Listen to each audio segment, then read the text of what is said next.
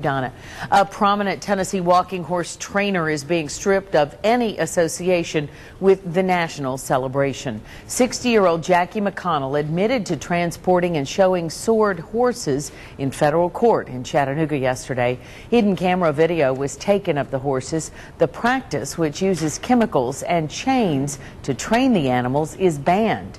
The Tennessee Walking Horse National Celebration has suspended McConnell for life as well as remove any association between McConnell and the celebration. A national organization is